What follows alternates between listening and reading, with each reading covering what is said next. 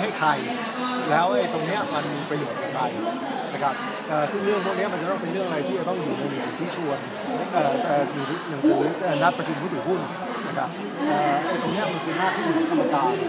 ซึ่งอันนี้คือสิ่งที่เราต้องเข้าไปพยายามดูว่ากรรมการเนี่ยได้ทำหน้าที่ต้องหรือยังได้ให้ข้อมูลผู้ถือหุ้นอย่างที่หรือเปล่าดคือแต่เดิมเนี่ยคือข้อมูลแต่เดิมเนี่ยมันเป็นเรื่องที่ไม่ต้องมาผ่านกรตเลย แล้วก็เอ่อลักษณะการให้ข้อมูลที่เอ่อของผู้ถือหุ้นเนี่ยเอ่อมันก็ไม่ได้มีอะไรที่ถูกกำกับเป็นกรอบไว้เอ่อสิ่งที่ตอนนี้ที่เราพยายามจะทำเนี่ยคงจะต้องมาดูว่าข้อมูลลักษณะแบบนี้เนี่ยกรรมการได้ให้เพียงพอหรือยัง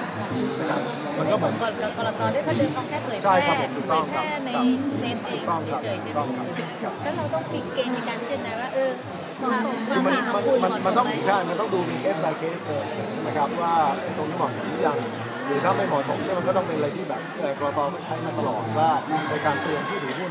ใช่ไหมครับเอ่อว่าข้อมูลอาจจะไม่ดีอาจจะไม่เพียงพอนะเดือนที่ผ่านมาก็เห็นกรตเราเตือนแต่มันก็นะเขาเป็นผู้ถือหุ้นใหญ่แต่เขาแต่เขาต้องมีอำแต่นาจผู้ถือหุ้นก็ต้องไปใช้สิทธิ์ของตัวเองใช่ไหมแต่ไอ้การเตือนเนี่ยมันก็เป็นอะไรที่เอ่อเหมือนกับผู้ถือหุ้นก็ควรจะรู้แล้วว่าเอ่อควรจะถือหุ้นบริษัทนี้ต่อไปหรือเปล่าหรือว่าควรจะทำทำยังไงหรือเปล่าอันนี้มี คือหลังประกาศสัปดาห์นี้สัปดาห์หน้ามีผลบังคับใช้ทันทียังครับเอ่อตัวร่างเนี่ยมันจะอยู่ในกระบวนการร่างทางกฎหมายอยู่ในหลักการมากกว่าธุรกิจ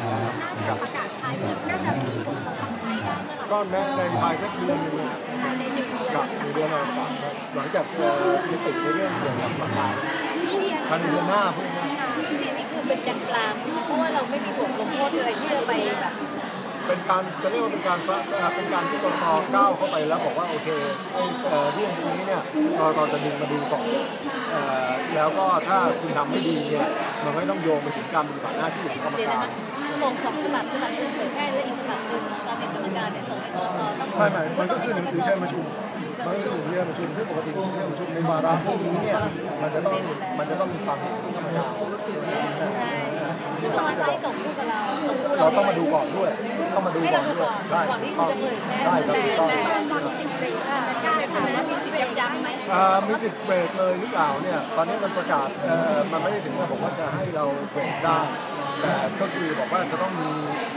จะต้องมีข้อมูลตามที่กรตเห็นว่ามันครบถ้วน แต่ถ้ากรกตไม่มีมองแล้วมันมันไม่เวิร์กไม่เป็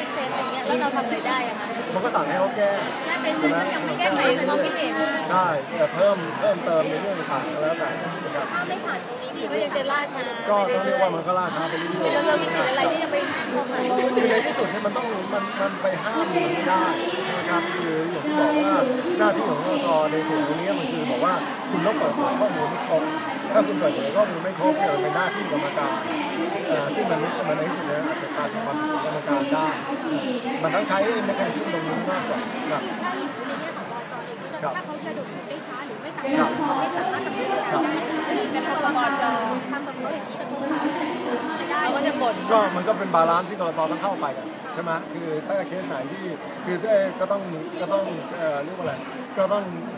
ซูมหรือว่าเชื่อก่อนว่าไอ้การที่กรตเข้าไปเนี่ยกรตเราไม่มีส่วนได้เสียเราไม่มีเหตุผลอะไรที่จะไปเที่ยวห้ามเอ่อถ้าเขาเอ่อมันเป็นเรื่องเกี่ยวกับการคุ้มครองผู้ลงทุนในการที่จะให้ข้อมูลที่ถูกต้องมันก็ต้องเชื่อว่ากรตทำโดยสุจริตใช่ไหมครับมันก็เดืตื่อนนก็กับประตรมาณงนี้สิงหาก็น่าจะเอใช้อประใช่มาณไหมนั้นนะครับนะครับนะครับเดี๋ยวขอ